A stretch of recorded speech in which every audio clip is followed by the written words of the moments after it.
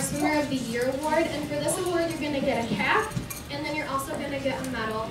And this award um, is kind of a lot of things combined. It has to do a lot with being a really great swimmer, a really um, important part of our team, but it also has to do with someone who's really encouraging and when they're not in the water, they're still totally focused on what's going on on the meet. They're watching their friends finish. They're at the other end of the pool, cheering everybody on.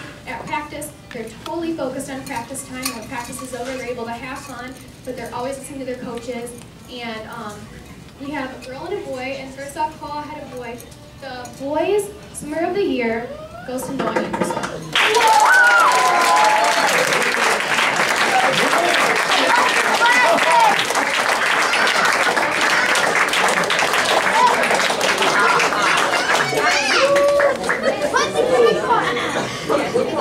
With the on, complete the outfit.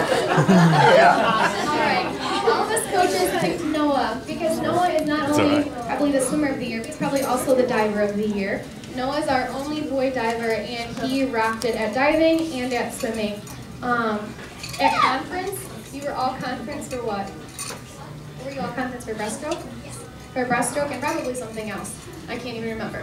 But every time I'd be doing ribbons, I would just be blue ribbon, blue ribbon, blue ribbon, and it was always Noah. And I was just kept putting Noah Anderson on the back of these ribbons like crazy.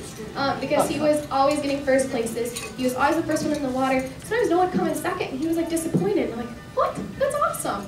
But Noah was always pushing himself, so that didn't even surprise me. But we picked Noah because of his hard work and dedication, and your great swimming, great diving, and hopefully you continue on in the future because you did an awesome job. Congratulations.